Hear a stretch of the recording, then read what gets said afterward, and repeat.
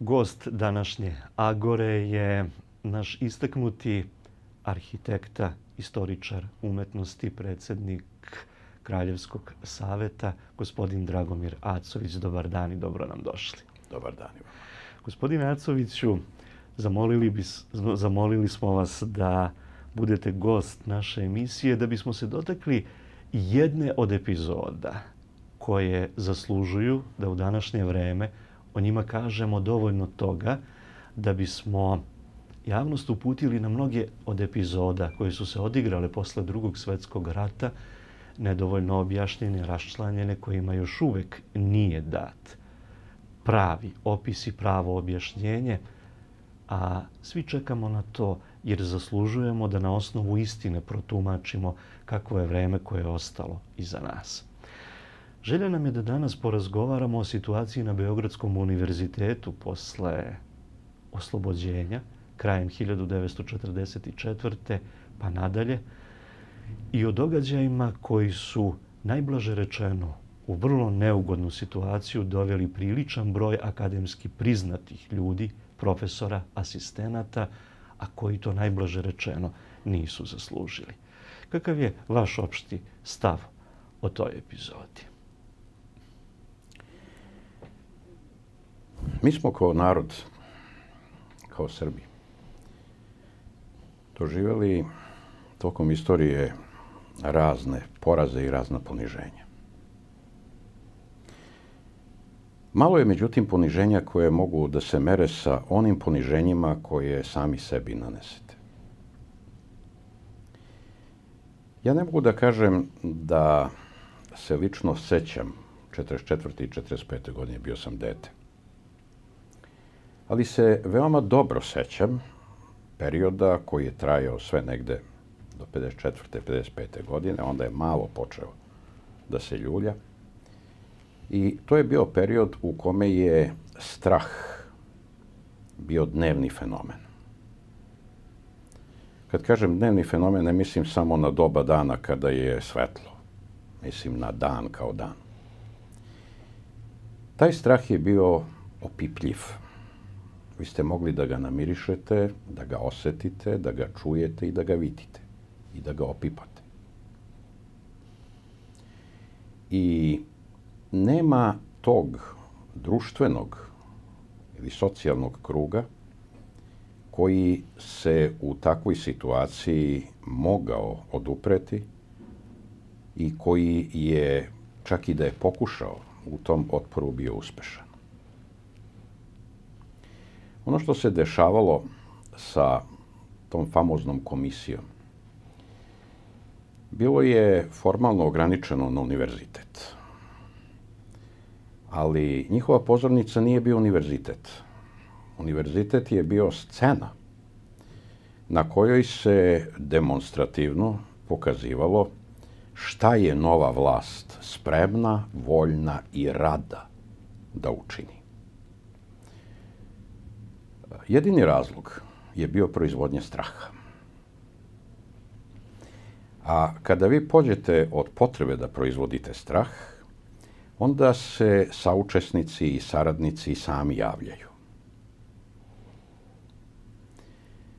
E, dosta imena koje su tada se lično osramotila i koja su osramotila i našu nauku, našu prosvetu i naš narod. Bila su imena koja su toliko bila značajna i pre, a pogotovo posle toga da se vas da postavljalo pitanje ako njih izvedete na pozornicu i upalite svetla i pokažete sa kakvim insektima imate posla, koje će biti posledice.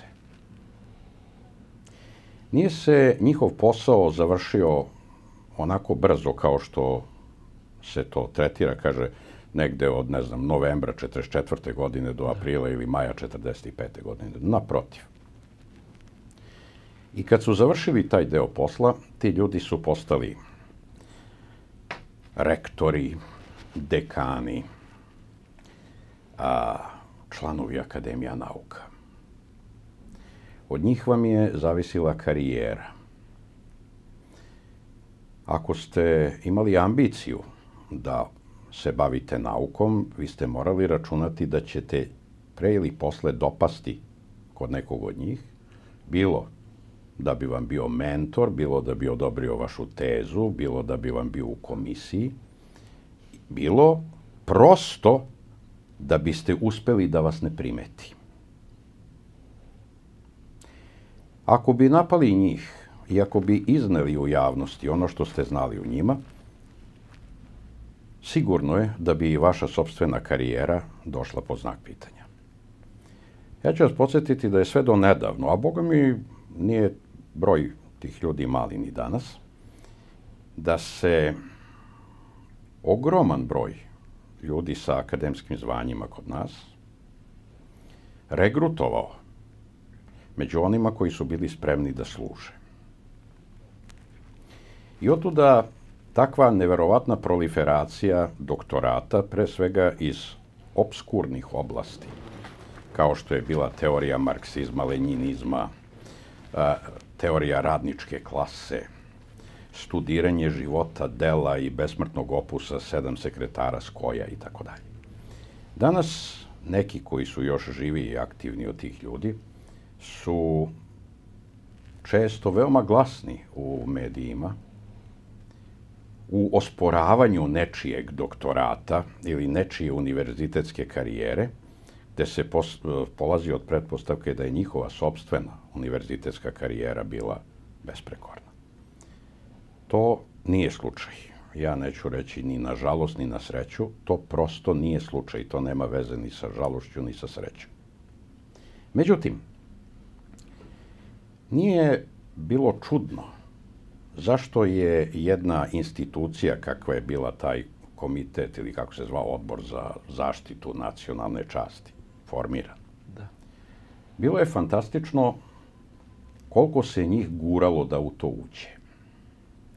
Neki da bi prikrili šta su sami činili u nekom periodu svoga života i karijere.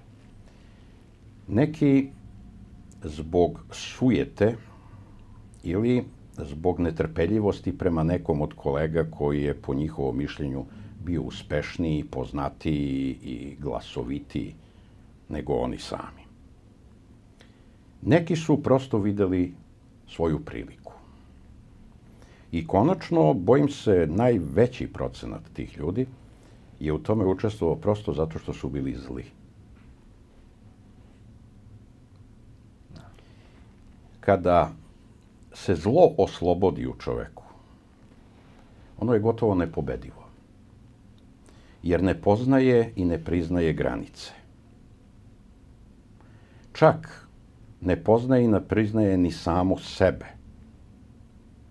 Priznaje samo priliku da se zlo čini.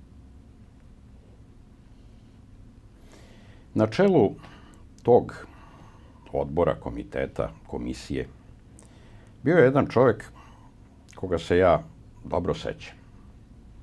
Sećam ga se kao dečak, sećam ga se kao učenik, nisam imao nikakve veze sa njim, ali smo slučajno živeli relativno blizu. I sretali smo ga stalno. On je čak i delovao kao oličenje zla. Mi smo ga se pomalo plašili. Nismo tačno znali ko je u to vreme. Ali smo vrlo dobro videli šta je. Bio je sav obasut nekakvim čudnim izraslinama po licu. Na sve strane su na njegovoj glavi štrčale neke džombe. Na obrazima, na nosu, na čelu, na bradi. I delovao je s jedne strane karikaturalno, ali ne od one vrste karikatura kojima se vi smete, koje vas teraju opet iz jednog urođenog zla, da se smete nečem što je, eto, ispod standarda ili izvan standarda. Nego karikaturalno u onome smislu u kome je da nema psihološke studije, trebalo gledati recimo Kvazimoda, da se Igo zadržao samo na njegovoj fizičkoj strani. Međutim, i tada i danas, najveća pažnja je bila usmerena na njega. A pored njega tu su bili i neki drugi ljudi koji su se možda umeli bolje da postave. Nisu gledali da preterano budu u prvom planu kad je do toga dolazilo. Ali su bili u prvom planu kad je trebalo brati plodove tog beščašća. Pomenuo bi vam Sinišu Stankovića. Da. Pomenuo, pomenuo bi vam Pavla Savića. Kako to objasniti? Vrlo jednostavno. Vrlo jednostavno. A, nisu ti ljudi pre svega toga bili ono kako smo mi navikli da ih gledamo posle, posle toga. Da. Posle toga je građena pažljivo njihova fama. Da. I oni su se tu pokazivali u svom najboljem svetlu. Ali njihovo najbolje svetlo je podrazumevalo da ne znate kako im je inače svetlo, a pogotovo kako im je ono najgore. I ja ću vas podsjetiti da je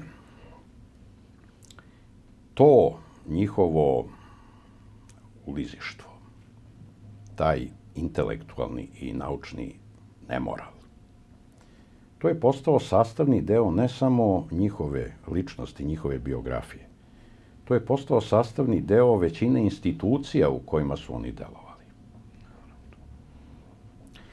I možda najveći doprinos tih ljudi je bio taj zaudarajući trag koji su ostavili za sobom.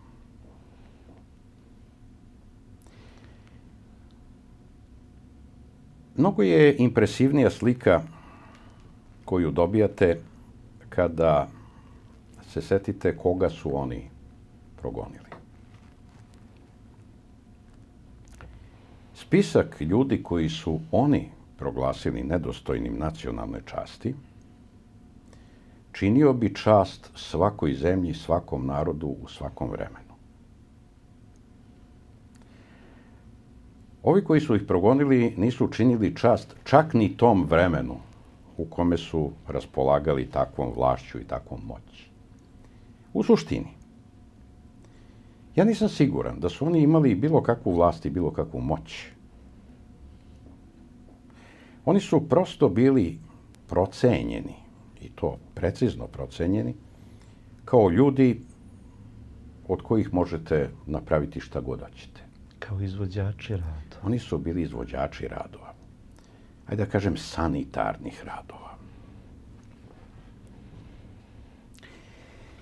A, Mogu li da vas zamolim, pomenuli ste čoveka koji je zapravo bio, kao što kažete, kruna toga. Hoćemo li da ga imenujemo? Mislite na Nedeljkovića, je li tako? Da, izvinjam se, eto, prosto sam Zašto propustio. da ga ne imenujemo? Prosto sam propustio da ga imenujem. Da, bio je to profesor doktor Dušan Nedeljković. I ja neću da kažem uh, i ne verujem čak da je on bio najgori. On je samo bio najuslužniji. Upravo to. Neki od ljudi koji su učestvovali u tome i potpisivali te dokumente, čas se pojavljuju, čas se ne pojavljuju. Ali ovaj je neizostavan.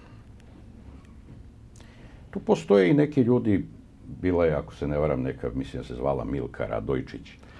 Da. Za koju, za koju niko ne može da ustanovi ko je ta žena uopšte bila. Ko je bila, zaista. Odakle se ona pojavila i u čemu je ta žena uopšte odlučivala. Znate, mi možemo da govorimo i o tome da ne bi ona bila prva osoba koja je bila tako, da kažem, anonimna i absurdna. Setite se šta su značile i kako su drmale potpuno, da kažem, obskurne intelektualne ličnosti kakve su recimo Mitra Mitrović, Cana Babović ili uh, Kika Damjanović, odnosno Marković. Ali,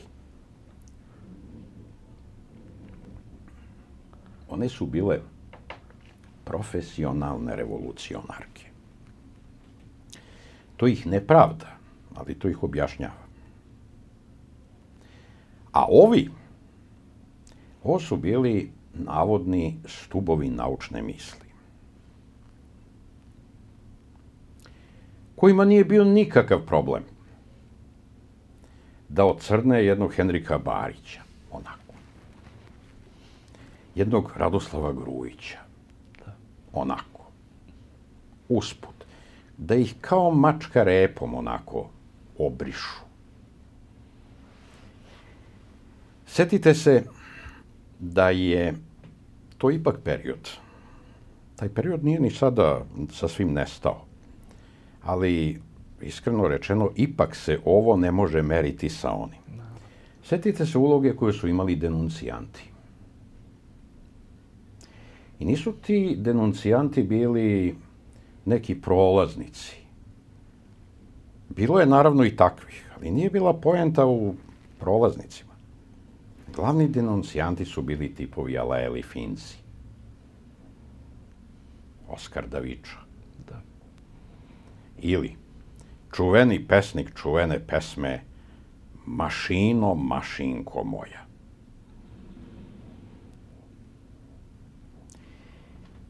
Oni su, hajde da kažem, bili svrsishodni. I kad god čitate i pokušate da se informišete, a objavljene su nekolike studije o tom fenomenu, naročito u poslednjih 20 godina. Neke od njih apsolutno dragocene.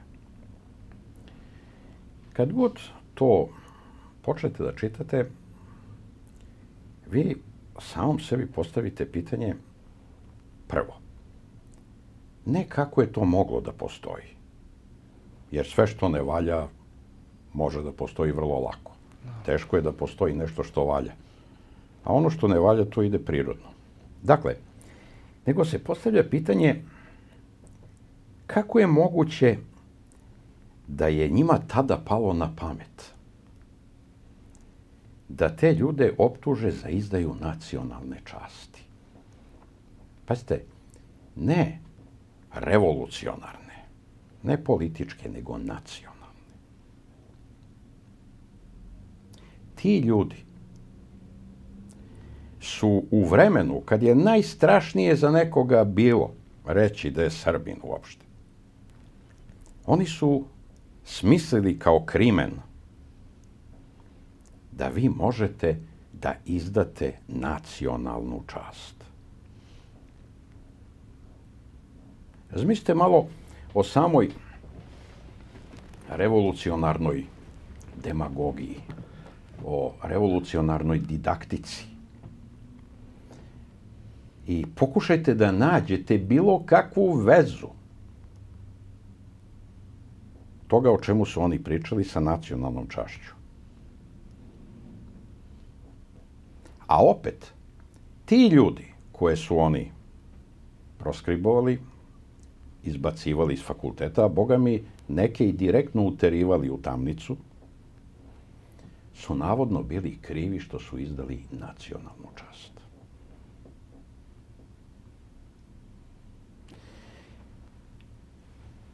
Nije na primjer, ništa čudno kad vi pročitate obrazloženja koja su oni pisali. Da. Ta obrazloženja nisu bila pisana da bi nešto dokazala ili da bi nešto objasnila. Ta obrazloženja su bila pisana tako da može da ih razume onaj nadležni drug u oblasnom ili centralnom komitetu. A njegov dijapazon razumevanja nije bio specijalno širok. Mnogi od krivica nikada nisu ni utvrđene, čak ni među njima. Ali to nije ni bila poenta. Naravno. Nije ni bila poenta da se utvrdi krivica. Znate, kada su uvršene one masovne likvidacije, to je taj period, niko nije postavljao pitanje krivice. Nije se niko ni trudio da za neki specifičan zločin ih optuži, a kamoli dokaže. sama činjenica da su postojali, bila je krivica po sebi. I gore krivica od toga niste ni mogli imati. Niti se mogli osloboditi od nje. Normalno. Onog momenta kada su vas poništili, teoretski bi trebalo da je i vaša krivica umrla sa vama. Međutim, tu je naša revolucionarna ideologija mnogo naučila od uh, Francuske revolucije. Da. Francuska revolucija je uvela delikt postojanja. Delikt pogrešnog rođenja. U pogrešno vreme. Ne kao pitanje vaše karijere, vaše sudbine, bogatstva, socijalnog statusa, nego kao zločin po sebi. Ja, moj poznanik, koji je Čeh i poticao je, i poticao potiče iz uh, jedne velike, zaista aristokratske porodice, trebalo je posle rata, odnosno posle takozvanog pobedničkog februara 1948. godine, da se upiše na medicinski fakultet u Pragu. I odbijen je iz dva razloga. Prvi, zato što je rođen u toj porodici, a drugi, mnogo zanimljiviji, zato što su mu i otac i majka završili fakultet. A stvaranje jedne aristokratsko-buržoaske intelektualne dinastije u dve uzastopne generacije smatran je deliktom par excellence. I njemu je zabranjen upis na bilo koji fakultet. I onda su se neki prijatelji, poznanici tu muvali, uključili i na kraju je on bio upisan posle dve, tri godine. I kad je diplomirao, a diplomirao je sa ocenama kako dolikuje, jel da? U njegovoj diplomi je napisano da on jeste doktor medicine, ali mu se zabranjuje rad sa živim pacijentima. Ja sam vidio tu diplomu.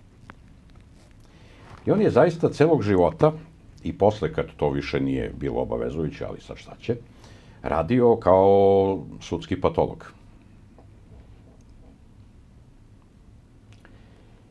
To je primer iz Češke.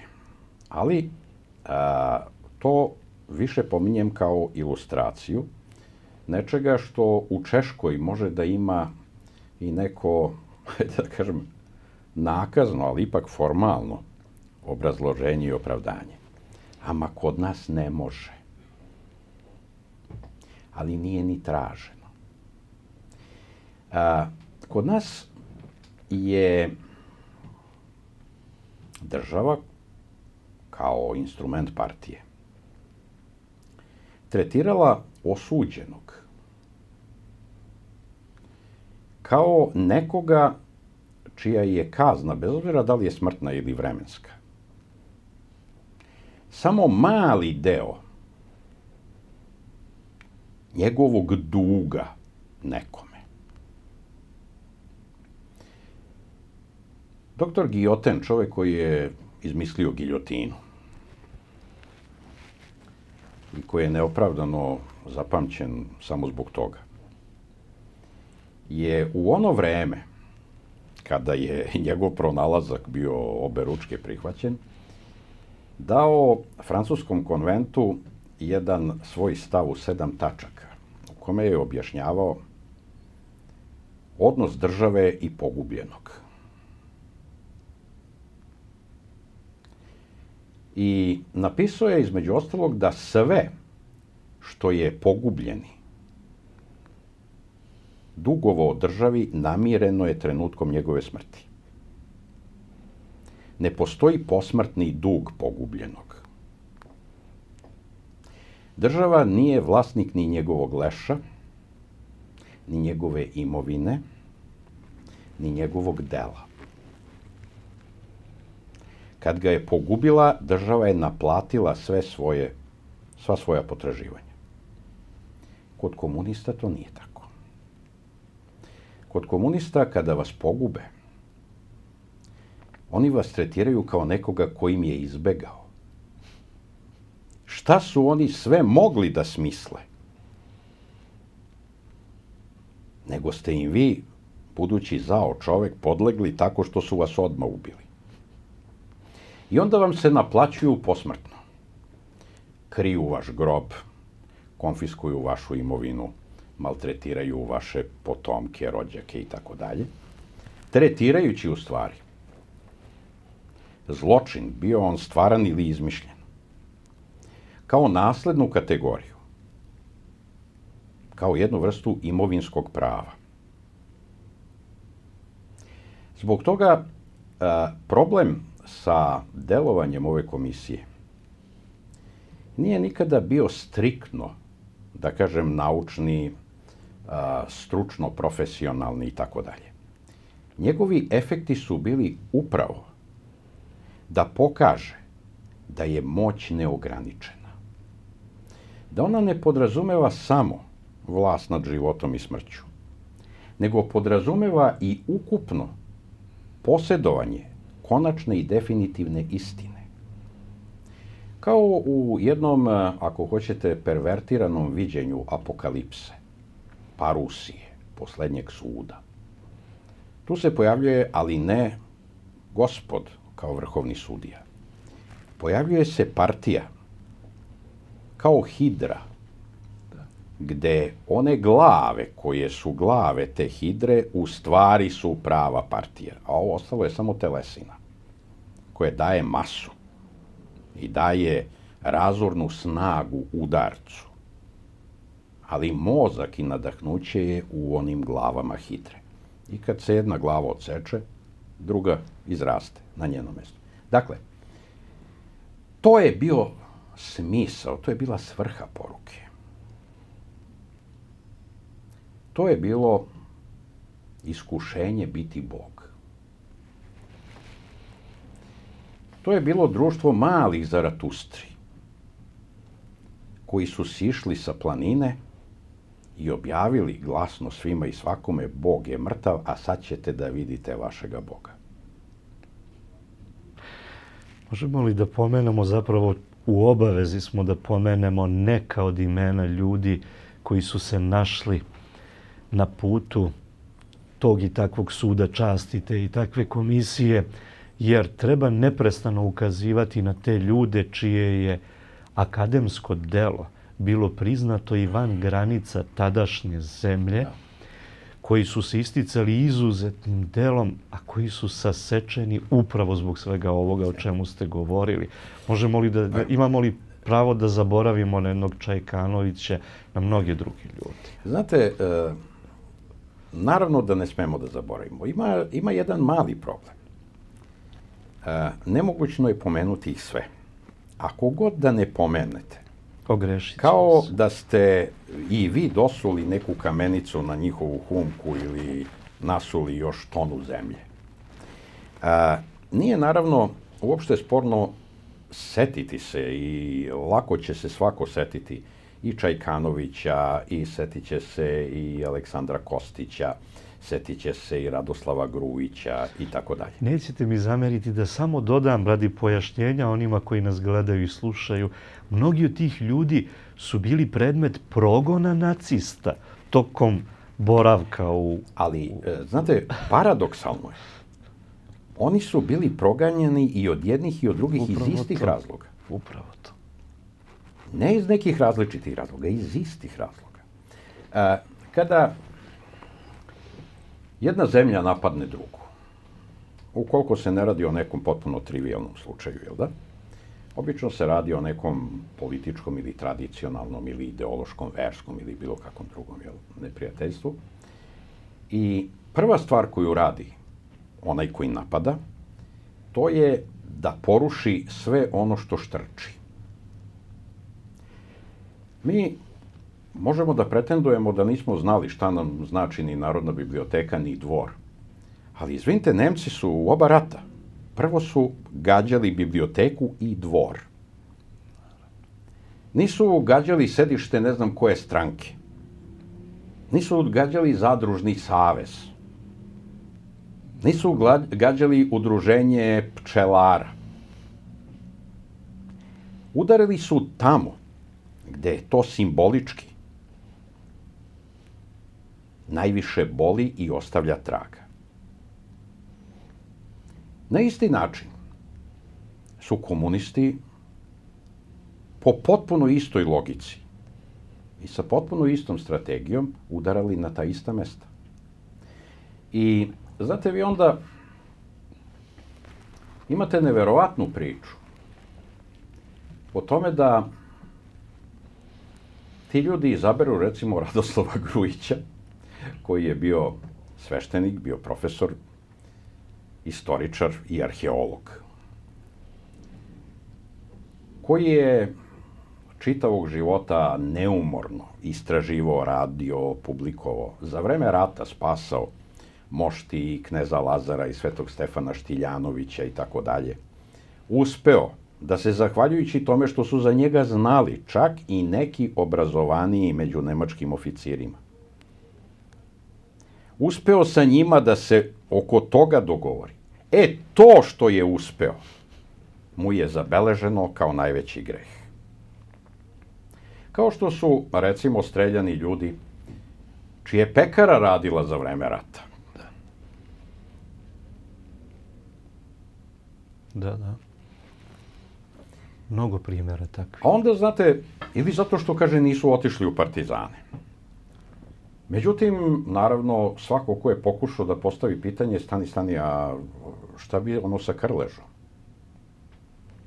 Naravno, udara u isti onaj bedem u koji je navodno udario Moša Pijade, kada je u jednom razgovoru pun entuzijazma rekao Titu, ajde da napravimo autonomiju u Dalmaciji, Istri i Slavoniji, ako već imamo autonomije u Srbiji.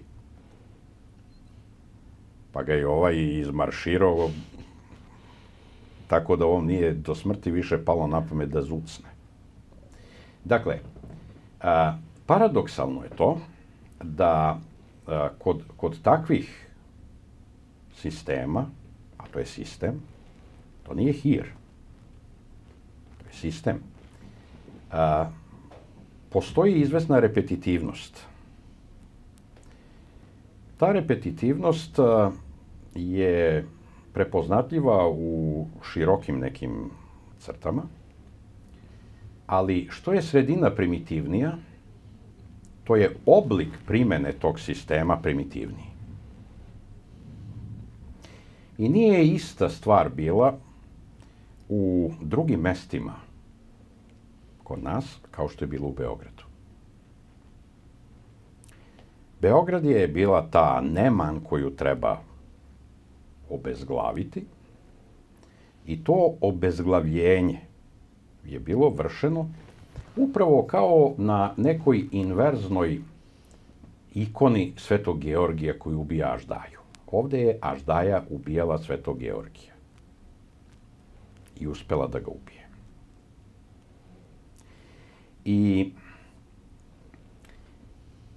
vi sad, ako izvučete neke slučajeve, kao što sam pomenuo Henrika Barića, kao što sam pomenuo Grujića, pa Čajkanovića i mnogo, mnogo njih,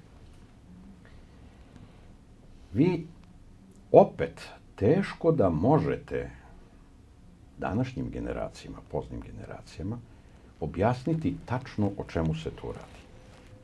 Ja ponekad kada mojoj deci pokušavam da, da približim to vreme, imam utisak da oni gledaju onako malo ispod oka i otprilike iz učtivosti, jel da, i ljubavi, neće da kažu, pa daj bre, ne, nemoj izmišljati toliko. Nažalost, to nije bilo izmišljenje. E, I šta je interesantno? Kada pogledate po kojim strukama i po kojim fakultetima je vršena seča, vidjet ćete da je glavna seča bila usmerena na filozofski fakultet. Filozofski fakultet je, dakle, bio srubljen. filološki nešto manje. I to uglavnom u onome delu gde su neostvareni e, književnici, kritičari, pesnici i tako dalje, odjednom videli svoju šansu da oni postanu likovi iz učbenika, a da svoje profesore za svakda maknu. Sledeći je bio na redu medicinski fakultet. Opet iz vrlo jednostavnog razloga. Lekar je i danas, a u ono vreme pogotovo, bio neko bez koga vi ne možete. Bez učitelja ćete se snaći, bez popa ćete se snaći. Bez pravnika će da se snaćete, ali bez lekara ne može. Relativno najmanja seča je bila na tehničkom i poljoprivrednom fakultetu. Opet iz dosta jednostavnih razloga.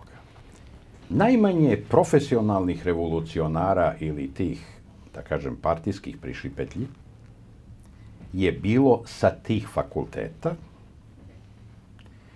ali ne samo to, nego da bi se obnovila zemlja bile su potrebne te dve struke. I tu ste mogli da se provučete. Tu je bilo ono, ajde, da mu progledamo e, da ostavimo to za sledeću priliku. Ali šta je jako zanimljivo? Relativno mali broj žrtava je bio na pravnom fakultetu.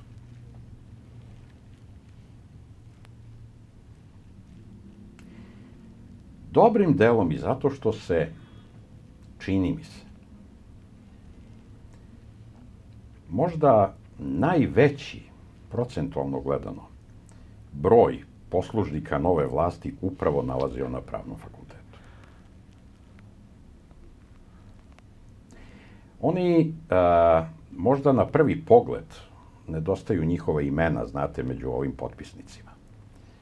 Ali oni su bili oni koji su sedeli u susednoj kancelariji i pisali ta rešenja.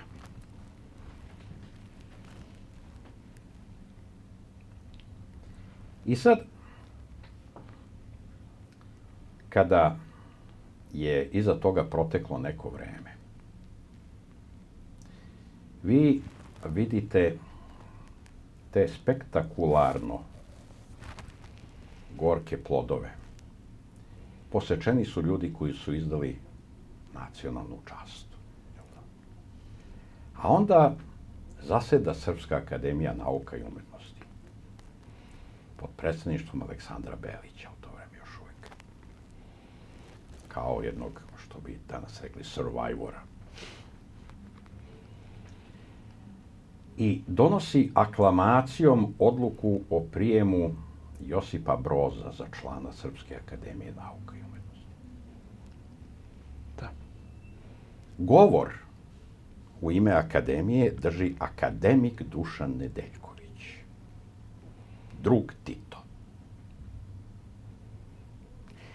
Akademija za vreme tog izbora upriličuje u svečanoj sali koncert na kome se pevaju revolucionarne pesme i rukovet botaničkih pesama u kojima je novi akademik glavni lik. Druže Tito mirisavo cveće, druže Tito jagodo iz rose, druže Tito naše zrelo žito, druže Tito ljubičice bela, druže Tito ljubičice plava. I onda se izvodi i mali scenski recital.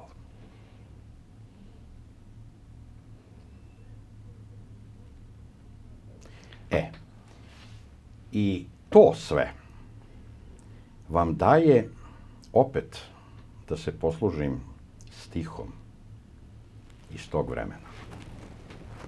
Popularni, koji su svi pevali, i đaci u školama i vojnici na odsluženju vojnog roka. To je nama naša borba dala da imamo Tita za maršala. To je bio rezultat naše borbe. A, svi ti progoni su bili trajali neko vreme i prošli. Ali zlo seme koje su oni posejali donosi plod i danas. Da. I mi ga žanjemo svakodnevno. Ako mi dozvolite, pre nekoliko godina neću pogrešiti ako kažem da se na Beogradskom sajmu knjiga da su se pojavila sabrana dela Veselina Čajkanovića. Koja, koja niko nije su, primetio. Koja su na zaprepašćujući način prošla neprimetno. To nije moglo biti spontano. Što, zašto mislite da nije moglo biti spontano? Pazite, uh, podlost je spontana. Podlost vam niko ne može nametnuti. Podlost dolazi iznutra. Da. Drugi mogu samo da je stimulišu. Ne mogu da je nametnu. Nije pitanje nametnuce cenzure ono što zaustavlja i predstavlja beščašće ljudskog roda. Ne. Nego je u pitanju inkvizicija.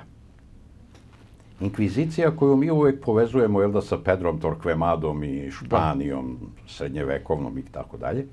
Inkvizicija je besmrtna.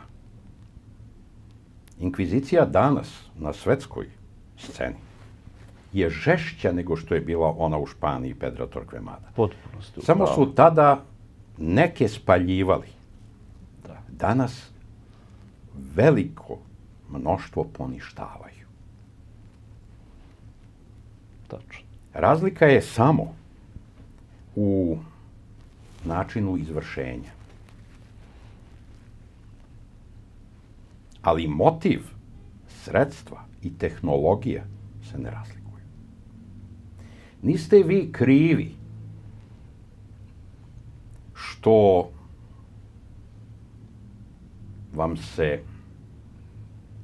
što se ne ponašate svakodnevno i u svakom momentu onako kako se od vas traži. Vi ste krivi što vi to što se od vas traži ne radite sa oduševljenjem. Što ne A to je poenta inkvizicije. I kao svaka inkvizicija, i ova u kojoj mi danas živimo, sebe vidi kao oslobođenje. Ne rade oni to zbog sebe. Zbog vas. U ostalom, zaokružujući polako ovaj razgovor, pa zar nismo svedoci tragičnih momenata u ovo savremeno doba u kojem akademski profesori, članovi naših naučnih instituta, pišu učbenike za osnovne srednje škole, čak fakultete, u kojima postoje momenti koje je teško poverovati. Pišu našu istoriju o kojoj makar u osnovi znamo toliko da ne možemo da poverujemo šta piše za naše mlađe generacije. Izvinite, a jel vi mislite da su se oni našli na tim položajima na kojima se nalazi slučajno? Ne, ne. Nisu oni izneverili položaj na kome se nalaze. Oni su dovedeni na taj položaj zato što su takvi. To ih je preporučilo. I ne možete vi, znate, u ovom momentu da sa pravom nekim kažete na tom i tom fakultetu se desilo to i to, to je sramota. I to možete da kažete. Samo se postaje pitanje, a kome vi to govorite? Oni koji bi prvi trebalo da se protiv toga pokrenu i pobune, njihova egzistencija zavisi od toga da niko ne krene na njih. Ako jednom padne na pamet da krene na nekoga, da se stvara lavina. Mi, nažalost, mi smo stvorili kulturu ulagivačku. To je strašno. To dolazi do izražaja na svakom nivou. E, neko će možda zameriti tome što sam to nazvao kultura. Izvinite, to je kultura. To je način na koji se uspinjete. Na Kao što bubašvabe imaju svoju kulturu. Mi to na svakom Kao koraku vidimo. Kao što stonoge imaju svoju kulturu. imperija mediokriteta defiluje oko nas i polu Malo. sveta. Ali izvinite, ko je proglasio da je naš cilj mediokritet? To je, to je zvanični stav, ne naše vlasti, ne naše situacije. U svetu je tako. Kad vi proglasite da su svi ljudi jednaki, a ja ne kažem, jednaki su zato što su Božija stvorenja i ni po čemu drugom nisu jednaki. Ali kad vi proglasite da je to tako, pa vi morate da težite u prosečenju.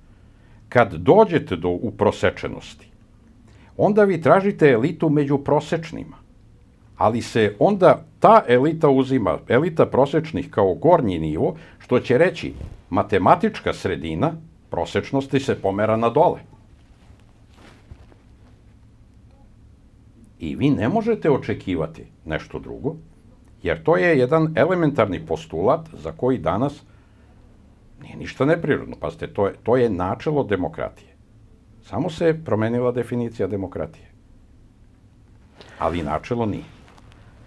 Zahvaljujem vam se što ste bili gost Agore, Snage naroda, Narodne televizije. Ovo je tema koja zaslužuje da se o njoj mnogo govori, pa makar reči u vazduh odlazile, ipak će posejati interesovanje kod nekih pojedinaca koji će posegnuti za potragom u ne tako dalekoj prošlosti i naći odgovor na epizode koje ne smeju ostati neraščlanjene i koje će nam pokazati zašto nam se i danas događaju stvari koje nas čine nespokojnim. Hvala vam što ste bili danas naš gost. Drago i meni bilo. Naš današnji gost bio je Dragomir Acović. Hvala vam na pažnji.